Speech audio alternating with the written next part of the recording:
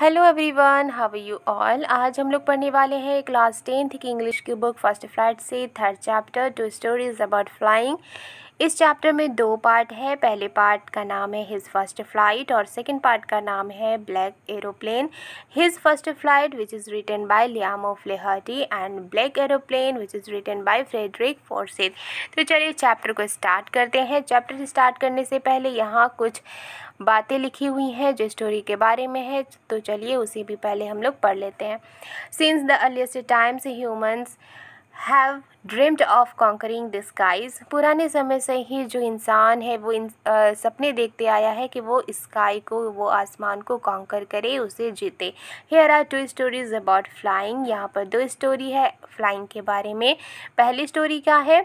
A young seagull is afraid to fly एक young seagull है जो से डरता है। How does he conquer his fear वो अपने डर पर कैसे जीत पाता है, वो अपने डर पर कैसे काबू करता है, कैसे अपने डर को जीतता है, ये हम लोग फ़र्स्ट पार्ट में पढ़ेंगे। सेकेंड पार्ट में क्या है? A pilot is lost in storm clouds एक पायलट है जो आंधी वाले बादल में खो जाता है। डज ही अराइव सेफ़ क्या वो सेफ़ पहुँचता है? हु हेल्प्स हिम कौन उसकी मदद करता है? तो चलिए अब चैप्टर को हम लोग स्टार्ट करते हैं। तो सबसे पहले हम लोग फ़र्स्ट पार्ट को पढ़ेंगे, जिसका नाम है हिज फ़र्स्ट फ़्लाइट यहाँ पर हिज कौन है? एक बर्ड है राइट सीगल ओके? तो ये समंदर के किनारे पाया जाता है राइट तो यहाँ लिखा है the young seagull was alone on his ledge एक यंग सीगल अपने लेज पर अकेला था। तो लेज क्या होता है? आप देख सकते हैं यहाँ पर एक रॉक है जो आगे की ओर निकली हुई है तो उसे ही कहते हैं ledge Right, his two brothers and his sister had already flown away the day before. उसके दो भाई एक बहन एक दिन पहले ही उड़ गए थे। He had been afraid to fly with them और उस यंग सीगल को डर लग रहा था उड़ने में, इसलिए वो उनके साथ नहीं उड़ा। क्योंकि उसे डर लग रहा था, वो डरपोक था। How when he had taken a little run forward to the brink of the ledge किसी तरह जब उसने एक छोटी सी दौड़ लगाई लेज के किनारे के लिए and attempted to flap his wings he became afraid और उसने अपने पंख को फ्लैप किया, फड़फड़ाया, फैलाया तो वो डर गया। The great expanse of sea stretched down beneath एक विशाल सा समंदर नीचे था, फैला हुआ समंदर नीचे था and it was such a long way down और ये उतना ही गहरा था माइल्स डाउन बहुत गहरा था। He felt certain that his wings would never support him उसने महसूस किया कि उसके जो विंग्स है, उसके जो पंख हैं, वो उसे कभी सपोर्ट नहीं करेंगे। So he bent his head and ran away back to the little hole under the ledge इसलिए उसने अपने सर को झुकाया और वो वापस दौड़ गया। लेज के अंदर एक छोटे से होल की तरफ़ where he slept at night जहाँ वो रात में सोया। Even when each of his brothers and his little sister whose wings were far shorter than his own ran to the brink flap their wings and flew away हालाँकि जो उसके भाई थे, उसकी बहन थे, उनके पंख यंग सीगल से भी छोटे थे राइट लेकिन फिर भी वो किनारे की ओर दौड़े, अपने पंख को उन्होंने फ्लैप किया और उड़ गए।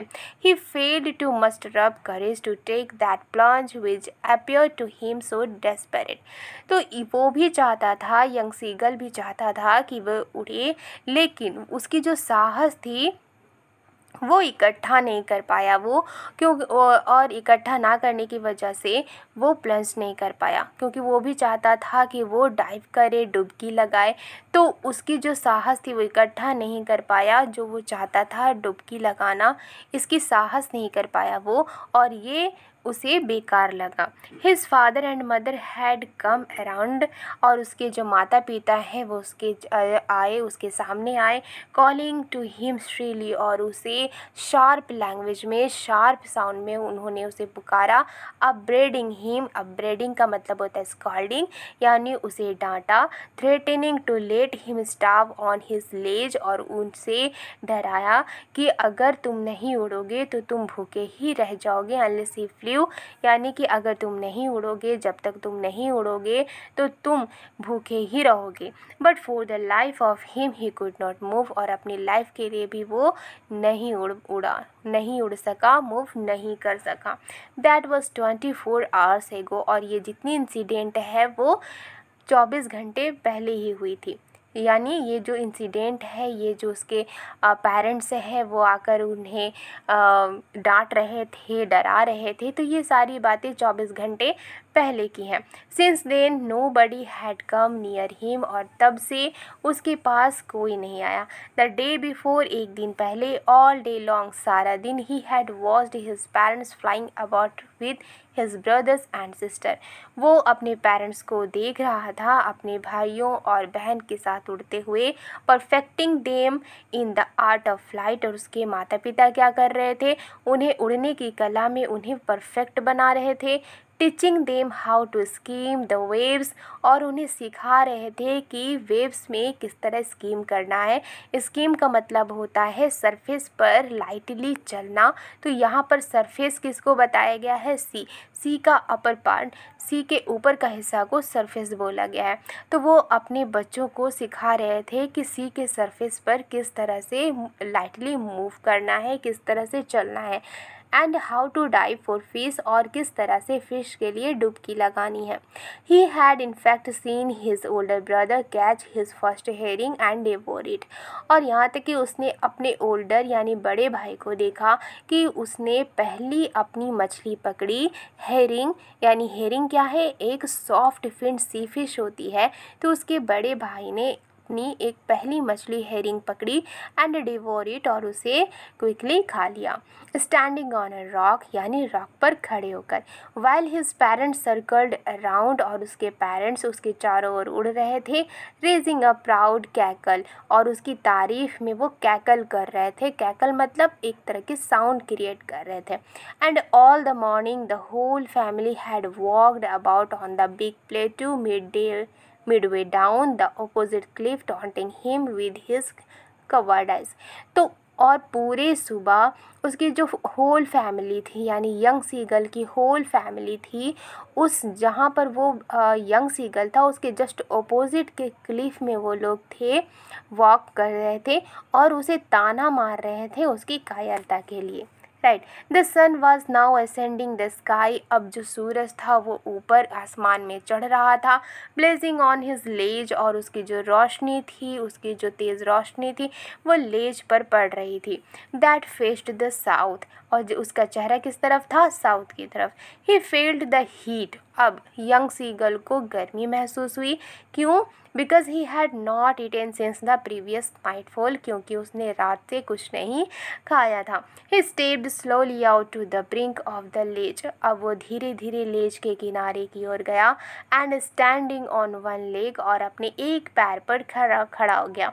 With the other leg hidden under his wing और अपने दूसरे पैर को अपने विंग, अपने पंखे के नीचे उसने छुपा लिया। ही क्लोज वन आई और अपनी एक आँख को उसने बंद किया। देन द अदर उसके बाद दूसरी आँख को उसने बंद किया। And pretended to be falling sleep और उसने ऐसा प्रिटेंड किया कि जैसे वो सो रहा है। Still they took no notice of him इतना करने के बावजूद भी उसकी फैमिली ने उसकी तरफ़ कोई नोटिस नहीं किया। He saw his two brothers and his sister lying on the plateau dozing with their head sunk into their necks तो उसने देखा कि उसके जो दो भाई हैं उसकी बहन है, वो प्ले पर डॉजिंग कर रहे हैं, यानी ऊँघ रहे हैं। ठीक है झपकी ले रहे हैं। With their head sunk into their necks और वो कैसे उंग रहे थे? अपने सर को अपनी गर्दन पर छुपा कर यानी जो जैसे बहुत सारे बर्ड होते हैं, वो अपने हेड को अपनी गर्दन पर यूँ छुपा कर रहते हैं। तो ठीक उसी तरह से उनके जो यंग सीगल के ब्रदर सिस्टर थे, वो उसी तरह से अपने हेड को अपने नेक में संक करके वो ओंग रहे थे right his father was preening the feathers on his white back और उसके जो फादर थे, वो अपने वाइट पीठ पर अपने फीदर को प्रिनिंग कर रहे थे, यानी अपने फीदर्स को, अपने पंखों को मेंटेन कर रहे थे। Only his mother was looking at him और सिर्फ़ उसकी माँ थी जो उसकी तरफ़ देख रही थी। She was standing on a little high hump on the plateau hump का मतलब होता है, जैसे आपने देखा होगा, ऊँट उसकी पीठ पर एक कुबड़ निकली होती है जस्ट लाइक दैट कि एक प्लेट्यू पर उसी तरह की एक हम्प थी, छोटी हाई हम्प थी, जहाँ पर उसकी मदर खड़ी थी। Her white breast thrust forward और उसकी जो ब्रेस्ट थी वाइट ब्रेस्ट थी, वो आगे की ओर झुकी। नाउ एंड अगेन समय समय पर she tore at a piece of fish वो एक फ़िश को पीस कर रही थी दैट ले एट हर फीट जो उसके पैरों में था।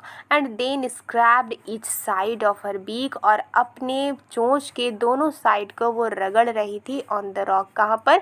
पत्थर पर अपने चोंच को दोनों साइड से वो स्क्रैप कर रही थी, रगड़ रही थी। Right right?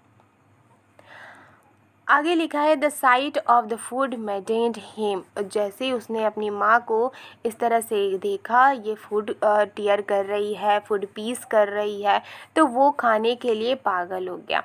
वो उसने खाने ने उसे पागल जैसा बनाया। How he loved to tear food that way वो कितना पसंद करता था फ़ूड को इस तरह से टीयर करना। Scraping his beak now and again to whet it और अपने चोंच को स्क्रैप करना, रगड़ना और समय समय पर ताकि वो इसे शार्प कर सके। राइट गा गा गा he cried begging her to bring him some food तो वो गा गा गा करके चिल्लाता है और उसे रिक्वेस्ट करता है कि कुछ फ़ूड वो उसे ला करके दे। गा कोल हा सी स्क्रीम्ड बैक डेरिसिवली तो वो क्या करती है? चीखती है, वापस चीखती है। मानो वो कह रही हो कि वो कितना स्टूपिड है। डेरेसिवली का मतलब यहाँ पर देख सकते हैं, लिखा है in a manner showing someone that she और he is stupid right but he kept calling plaintively but लेकिन वो उदासी के साथ उसको पुकारता रहा। एंड आफ्टर अ मिनट और so he uttered a joyful scream कुछ देर के बाद वो खुशी से चिल्लाने लगा। His mother had picked up a piece of of the fish उसकी माँ ने फ़िश का एक टुकड़ा उठा लिया था and was flying across to him with it और वो इसके साथ ही उसकी तरफ़ उड़ रही थी। ही लीन आउट वो झुका।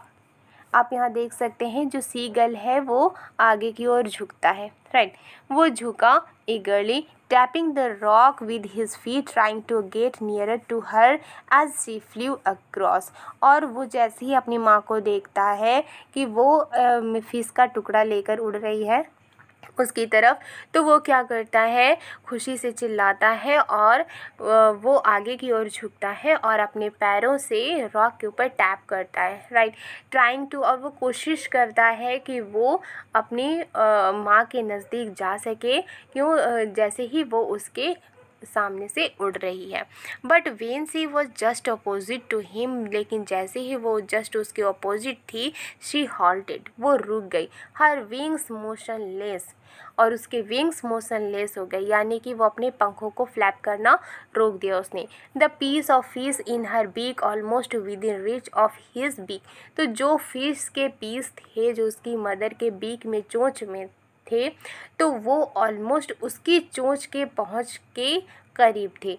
He waited a moment in surprise तो वो इंतज़ार क्या कुछ क्षण सरप्राइज़ में wondering why she did not come nearer और ये अचंभित था कि वो उसके नज़दीक क्यों नहीं आई। एंड देन और तब मेडेंड बाई हंगर भूख से पागल होते हुए he dived at the fish उसने फ़िश के ऊपर छलांग लगा दिया। विद ए लाउड स्क्रीम एक लाउड चीख के साथ he fell outwards and downwards और वो एक चीख के साथ वो क्या हुआ? इनटू स्पेस वो स्पेस में, यानी नीचे की ओर वो गिरने लगा। Then a monstrous terror seized him लेकिन उसके बाद एक, जो ख़तरनाक, जो टेरर है, यानी जो टेंशन है, डर है, वो उसको पकड़ लेता है। Him and his heart stood still और उसका दिल रुक जाता है। ही कुड हियर नथिंग उसे कुछ सुनाई नहीं देता। But it only lasted at minute लेकिन ये सब सिर्फ़ कुछ ही मिनट के लिए था। सिर्फ़ एक ही मिनट के लिए था। The next moment he felt his wings spread outwards अगले ही पल उसने महसूस किया कि उसकी जो विंग है, वो आगे की ओर स्प्रीड कर रही है। The wind rushed against his breast और जो हवा उसके छाती से लग रही है, छाती के फीदर से लग रही है। देन अंडर हिज स्टमक और उसके बाद उसके स्टमक के अंदर लग रही है राइट पेट के अंदर लग रही है। एंड अगेंस्ट हिज विंग्स ठीक है? और जो विंड है, उसके पंख के अगेंस्ट में है। He could feel the tips of his wings cutting through the air और वो क्या महसूस करता है? टिप्स महसूस करता है कि उसके जो पंख हैं एयर को कट कर रहे हैं। He was not falling headlong now अब वो सर के बल नहीं गिर रहा था। He was soaring gradually downwards and outwards वो अब क्या कर रहा था? ऊपर की तरफ़ नीचे की तरफ़ और फिर नीचे से ऊपर की तरफ़ वो उड़ रहा था। He was no longer afraid he was no longer afraid अब वो डरा हुआ नहीं था। He just felt a bit dizzy बस उसने थोड़ा सा महसूस किया। डिजी डिजी का मतलब होता है हल्का सा वो अनकम्फर्टेबल फीलिंग महसूस किया। Right then he flapped his wings once and he soared upwards और उसके बाद उसने अपने पंखों को दोबारा फड़फड़ाया। दोबारा अपने पंखों को फ्लैप किया और उसके बाद वो अपवर्ड्स यानी ऊपर की ओर फिर उड़ने लगा। गा गा गा गा गा गा कुल्हा his mother swept past him और ये कहते हुए उसकी माँ उसको, उसके आगे उड़ती है। Her wings making a loud noise क्योंकि उसकी मदर के विंग्स बड़े हैं। इसलिए उड़ते हुए उसकी मदर के विंग्स जो हैं वो नॉइज़ करते हैं, आवाज़ करते हैं। He answered her with another scream और वो अपनी माँ को दूसरे स्क्रीम से चीख कर उसको जवाब देता है। Then his father flew over him screaming और उसके बाद उसके पिता भी उसके ऊपर चीखते हुए उड़ने लगते हैं। He saw his two brothers and his sister flying around him curveting and banking and soaring and diving. उसने देखा कि उसके जो ब्रदर हैं, वो और उसके ब्रदर और उसकी जो सिस्टर है, वो भी उसके ऊपर उड़ रहे हैं। कैसे उड़ रहे हैं? तो उड़ने के यहाँ पर चार तरीके बताए गए हैं converting and banking and soaring and diving curveting curveting का मतलब होता है यहाँ लिखा है लिपिंग लाइक अ हॉर्स यानी हॉर्स जिस तरह से लिप करके आगे जाता है, उस तरह से वो लोग उड़ रहे थे।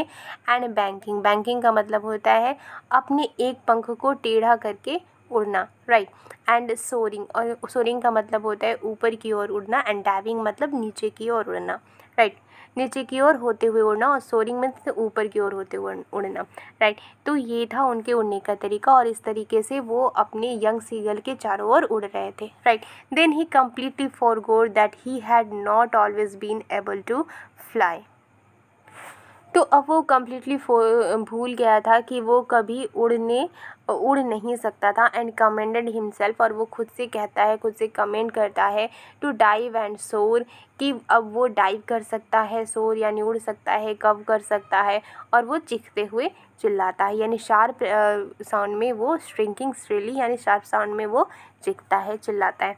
He was near the sea now अब वो समंदर के नज़दीक था। फ्लाइंग स्ट्रेट ओवर इट और वो समंदर के ठीक ऊपर सीधा उड़ रहा था facing straight out over the ocean यानी ओशियन के ऊपर वो सीधा उड़ते हुए जा रहा था ओशियन के ऊपर सीधा वो फ्रे फेस कर रहा था स्ट्रेट उड़ रहा था। He saw a vast green sea beneath him उसने विशाल जो समंदर, ग्रीन समंदर उसने अपने नीचे देखा with little ridges moving over it and he turn his beak sideways and cawed amusedly और जो लिटिल रेजेस लिटिल रेजेस का मतलब होता है जो लहरें तो जो छोटी छोटी लहरें थी वो उसके ऊपर था right and he turn his beak और वो अपने चोंच को साइडवेज यानी कि साइड की तरफ़ वो टर्न करता है एंड काउड अम्यूजली और वो अम्यूज यानी हैरत से वो काव करता है, साउंड क्रिएट करता है। His parents and his brothers and sisters had landed on this green flooring ahead of him तो उसके जो पेरेंट्स थे, उसके भाई थे, उसकी जो बहन थी, वो उसके आगे ग्रीन फ्लोरिंग यानी कि समंदर के सतह पर वो पहले ही लैंड कर चुके थे। They were beckoning beckoning to him calling shrilly तो वे लोग यंग सीगल को भी बुला रहे थे कॉलिंग स्ट्रीली यानी कि वो शार्प शार्प साउंड में वो भी उन्हें बुला रहे थे।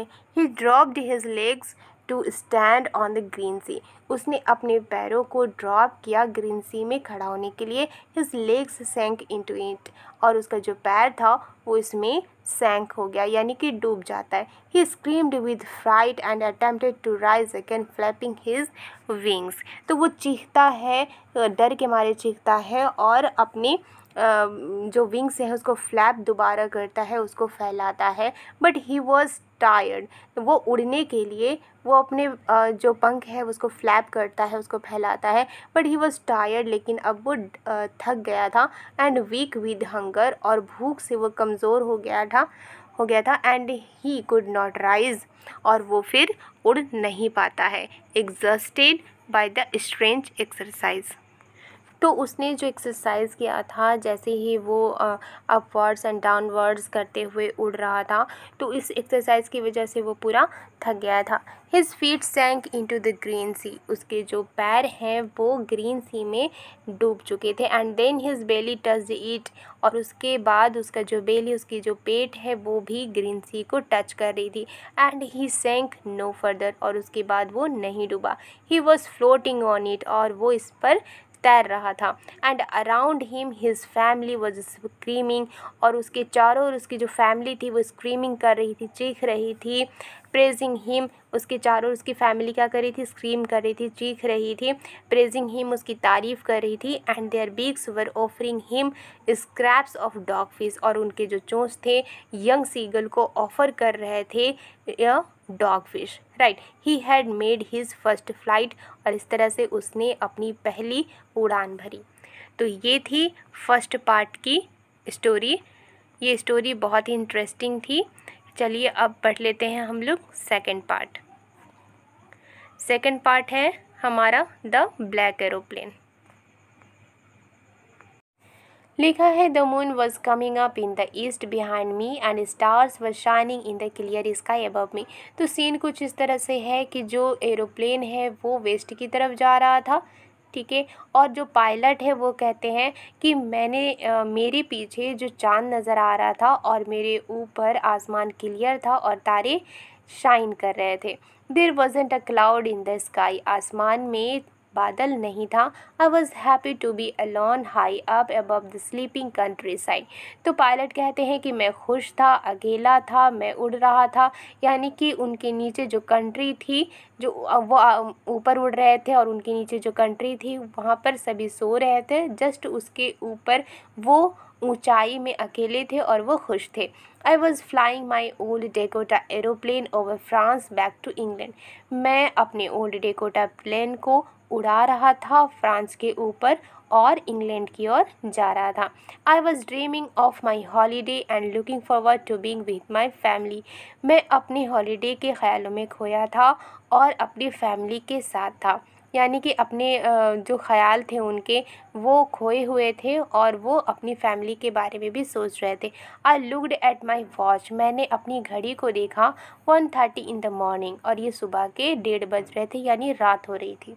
I should call Paris control सुन मुझे पेरिस कंट्रोल को तुरंत कॉल करना चाहिए। आई थाउट मैंने सोचा। As I looked down past the nose of the aeroplane तो जैसे ही मैंने एरोप्लेन के नोज़ के नीचे देखा, आपने देखा होगा कि एरोप्लेन के जो आगे का हिस्सा होता है, वो नोज़ की तरह दिखता है। तो उसे ही कहा गया है the nose of the aeroplane right तो जैसे ही पायलट ने एरोप्लेन के नोज़ के नीचे देखा I saw the lights of a big city in front of me तो मैंने देखा कि मेरे सामने एक बड़ी सी सिटी है और उसके लाइट्स को उन्होंने देखा। I switched on the radio and said मैंने रेडियो को स्विच ऑन किया और कहा Paris control Dakota D S zero eight eight here can you hear me I am on my way to London over फिर pilot कहते हैं कि मैंने रेडियो को स्विच ऑन किया और कहा कि Paris control Dakota D S zero eight eight यहाँ, क्या आप मुझे सुन सकते हैं? मैं इंग्लैंड के रास्ते में हूँ। Over. The voice from the radio answer me immediately. जो वॉइस है रेडियो की, उसने तुरंत मुझे आंसर किया। ठीक है? यानी रेडियो से आवाज़ आई। D S zero eight eight I can hear you मैं आपको सुन सकता हूँ। You ought to turn twelve degree west now D S zero eight eight over अब आपको वेस्ट की तरफ़ ट्वेल्व डिग्री मोड़ लेनी चाहिए। I check the map and the compass मैंने मैप को चेक किया और कंपास भी मैंने देखे। Switched over to my second and last fuel tank और उन्होंने क्या किया? स्विच ओवर किया उनके दूसरे लास्ट फ्यूल टैंक को। And turn the Dakota twelve degrees west towards England और उन्होंने क्या किया कि डेकोटा को उन्होंने ट्वेल्व डिग्री वेस्ट की तरफ़ इंग्लैंड की तरफ़ उन्होंने मोड़ दिया।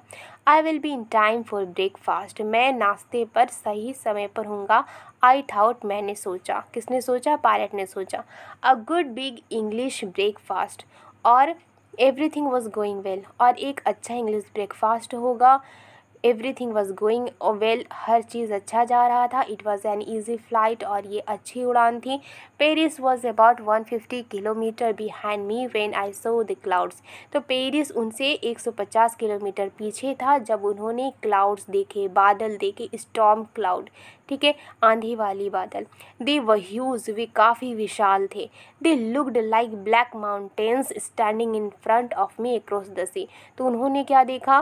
कि उनके सामने ब्लैक माउंटेन की तरह बादल खड़े हैं, ठीक है? आसमान के आसमान पर। I knew I could not fly up and over them वो जानते थे कि वो उड़ नहीं सकते उस जो स्टॉम क्लाउड्स थे, उसके ऊपर से ना तो उड़ सकते थे, ना तो उसके नीचे से उड़ सकते थे right and I did not have enough fuel to fly around them to the north और साउथ और उनके पास इतना फ्यूल भी नहीं था, इतना काफ़ी फ्यूल भी नहीं था कि वो उस बादल के नॉर्थ या साउथ डायरेक्शन से होकर के मुड़कर जा सकते थे right I ought to go back to Paris I thought मैंने सोचा कि मुझे वापस पेरिस जाना चाहिए।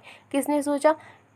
पायलट ने सोचा। उन्होंने अपने सामने जब इतने बड़े ह्यूज क्लाउड्स को देखा स्टॉम क्लाउड्स को देखा तो उसने सोचा कि ये तो मैं तो ना तो इसके ऊपर से जा सकता हूँ, ना इसके नीचे से जा सकता हूँ, ना ही साउथ और नॉर्थ डायरेक्शन से जा सकता हूँ। इसलिए मुझे पेरिस शायद वापस जाना चाहिए। But I wanted to get home I wanted that breakfast पर मुझे घर जाना था। मैं घर जाना चाहता था। मुझे नाश्ता मुझे नाश्ता चाहिए था। यानी वो नाश्ता करना चाहते थे, वो घर जाना चाहते थे। I will take the risk मैं रिस्क लूँगा। आई थाउट मैंने सोचा। And flew that old Dakota straight into the storm और उन्होंने क्या किया कि ओल्ड डेकोटा को सीधे आंधी में उन्होंने उड़ा दिया। Inside the clouds clouds के अंदर एवरीथिंग वॉज़ सडनली ब्लैक हर कुछ काला हो चुका था। It was impossible to see anything outside the aeroplane ये इम्पॉसिबल था कि एरोप्लेन के बाहर कुछ नज़र आए। The old aeroplane jumped and twisted in the air जो ओल्ड एरोप्लेन था, वो जंप करने लगा ट्विस्ट करने लगा हवा में। I looked at the compass मैंने कंपास की तरफ़ देखा आई कूडेंट बिलीव मैं यकीन नहीं कर सका माई आइज़ अपनी आँखों पर वो यकीन नहीं कर पाए। The compass was turning round and round and round जो कंपास था, वो गोल गोल गोल गोल घूम रहा था। इट वॉज़ डेड ये डेड था। इट वुड नॉट वर्क ये काम नहीं करेगा। The other instruments were suddenly dead too और अचानक ही दूसरे इंस्ट्रूमेंट भी डेड हो चुके थे। आई ट्राइड द रेडियो मैंने कोशिश किया रेडियो पर। Paris control Paris control can you hear me Paris control Paris control क्या आप मुझे सुन सकते हैं? देर वॉज़ नो आंसर कोई आंसर नहीं मिला, कोई जवाब नहीं मिला जब पायलट ने पेरिस को दोबारा पेरिस से दोबारा कांटेक्ट करने की कोशिश की तो उन्हें कोई आंसर नहीं मिला। क्यों? The radio was dead too क्योंकि रेडियो भी डेड हो चुका था। I had no radio no compass and I could not see where I was मेरे पास ना रेडियो था, अब ना कंपास था I could not see where I was यानी अब मैं देख नहीं सकता था कि मैं कहाँ था। I was lost in the storm मैं आंधी में खो चुका था। Then in the black clouds quite near me I saw another aeroplane और तभी, काले बादल में मैंने अपने नज़दीक एक दूसरा एरोप्लेन देखा। It had no lights on its wings इसके जो विंग्स हैं, जो पंख हैं, जो एरोप्लेन के जो पंख होते हैं विंग्स होते हैं उसमें कोई भी लाइट्स नहीं थी but I could see it flying next to me but मैं देख सकता था कि वो मेरे सामने ही उड़ रहा था थ्रू द स्टोम यानी कि आंधी के साथ साथ। I could see the pilot's face मैं पायलट के चेहरे को भी देख सकता था। टर्न टूवर्ड्स मी और वो मेरी तरफ़ मुड़ा। I was very glad to see another person मैं बहुत खुश था दूसरे पर्सन को देख कर he lifted one hand and waved उसने अपना एक हाथ ऊपर उठाया और उसे लहराया। क्या उसने उन्होंने कहा फॉलो मी यानी जो अनदर जो पायलट उन्हें नज़र आ रहे थे, वो उनसे क्या कह रहे थे? फॉलो मी यानी मुझे फॉलो करे. ही वॉज़ सेइंग वो कह रहे थे फॉलो मी मुझे फॉलो करो. He knows that I am lost I thought मैंने सोचा कि शायद वो जानते हैं कि मैं खो चुका हूँ। He is trying to help me वो कोशिश कर रहे हैं मेरी मदद करना। He turn his aeroplane slowly to the north और उसने क्या किया? एरोप्लेन को नॉर्थ की तरफ़ स्लोली टर्न किया in front of my Dakota और मेरी डेकोटा के सामने से। So that it would be easier for me to follow him ताकि ये मेरे लिए आसान हो सके कि मैं उन्हें फॉलो कर सकूँ। I was very happy to go behind the strange aeroplane like an obedient child मैं बहुत खुश था कि उस स्ट्रेंज एरोप्लेन के पीछे जाना लाइक एन ऑबिडेंट चाइल्ड यानी एक आज्ञाकारी बच्चे की तरह मैं उस स्ट्रेंज एरोप्लेन के पीछे जाना मुझे आ, मैं खुश था उसके पीछे जाकर। क्यों? क्योंकि उन्हें लग रहा था कि अब उन्हें रास्ता मिल जाएगा। After half an hour the strange black aeroplane was still there in front of me in the clouds यानी कि अब आधा एक घंटा तक वो स्ट्रेंज ब्लैक एरोप्लेन जो था, वो क्लाउड्स में ही जो पायलट थे उनके डेकोटा एरोप्लेन के सामने ही थे। Now there was only in a fuel in the old Dakota's last tank अब सिर्फ़ काफ़ी फ्यूल था यानी कि कुछ ही फ्यूल था डेकोटा के लास्ट टैंक में टू फ्लाई फोर फाइव और टेन मिनट्स मोर यानी कि अब वो जो डेकोटा एरोप्लेन है वो सिर्फ़ पाँच या दस मिनट ही और उड़ सकता था सिर्फ़ इतन, उसमें इतना ही फ्यूल बचा था। I was starting to feel frightened again मुझे दोबारा से डर महसूस होने लगा किसी पायलट को but then he started to go down and I followed through the storm तब उसने क्या क्या नीचे जाना शुरू किया, जो अनदर जो एरोप्लेन था, वो क्या क्या वो दोबारा से वो नीचे की ओर जाना स्टार्ट किया। And I flow followed through the storm और जो पायलट थे, वो उसे उसी आंधी में फॉलो करने लगे। Suddenly I came out of the clouds और अचानक ही मैं बादलों से बाहर आ गया and saw two long straight lines और मैंने देखा दो लॉन्ग स्ट्रेट लाइन्स देखे और फ्लाइट्स किसके? लाइट्स के इन फ्रंट ऑफ़ मी यानी मेरे सामने, ठीक है? तो जैसे ही वो बादलों से वापस आए, बादलों से बाहर आए तो उन्होंने देखा कि दो स्ट्रेट लाइन है लाइट्स के। It was a runway यानी अब वो कहाँ पहुँच चुके थे? रन वे में पहुँच चुके थे। In airport I was safe तो ये एक रनवे था, एक एयरपोर्ट था और वो सेफ़ थे। I turn to look for my friend in the black aeroplane मैं वापस मुड़ा देखने के लिए अपने फ्रेंड को ब्लैक एरोप्लेन में जो था। But the sky was empty लेकिन आसमान खाली था। देर वॉज़ नथिंग देयर वहाँ पर कुछ भी नहीं था।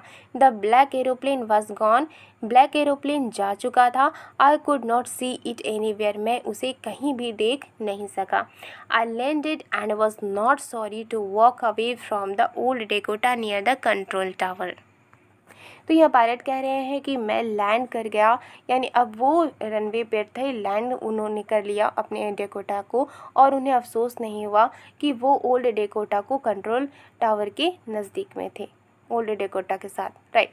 I went and asked a women in the control centre मैं गया और एक वुमेन से कंट्रोल सेंटर में पूछा वेर आई वॉज़ मैं कहाँ था? And who the other pilot was और दूसरा पायलट कौन था? I want to say thank you मैं उसे थैंक यू कहना चाहता हूँ. She looked at me very strangely और उसने बहुत ही हैरत से मेरी तरफ़ देखा। एंड देन लाफ्ड और उसके बाद हँसी। अनदर एरोप्लेन दूसरा एरोप्लेन आप देयर इन दिस स्टॉम इस आंधी में ऊपर। No other aeroplanes were flying tonight यानी कि नो अदर एरोप्लेन्स यानी कोई भी एरोप्लेन्स आज रात को उड़ नहीं रही थी। Yours was the only one यानी आपका ही सिर्फ़ एरोप्लेन अकेला था। I could see on the radar जिसे मैं रडार पर देख सकती थी। So who help me to arrive there safely without a compass और a radio and without any more fuel in my tanks तो वो जो पायलट थे, वो सोचने लगे तो फिर मेरी हेल्प किसने किया यहाँ तक? सेफली पहुँचने में। वो भी बिना कंपास के या फिर बिना रेडियो के और मेरे फ्यू मेरे टैंक में तो इतना फ्यूल भी नहीं था। Who was the pilot on the strange black aeroplane वो पायलट कौन था स्ट्रेंज ब्लैक एरोप्लेन में? फ्लाइंग इन द स्टॉम जो कि स्टॉम में, जो आंधी में उड़ रहा था विदाउट लाइट्स बिना लाइट्स के। राइट तो वो यहाँ पर सोच में पड़ गए, पायलट कि आखिर वो कौन था? तो ये भी एक इंटरेस्टिंग स्टोरी थी। आई होप आपको पसंद आई होगी। अगर पसंद आई है दोनों स्टोरी और ये चैप्टर समझ में आया है तो मेरे चैनल को सब्सक्राइब और लाइक और शेयर करना मत भूलिएगा। मिलती हूँ नेक्स्ट वीडियो में एक नए चैप्टर के साथ। Thank you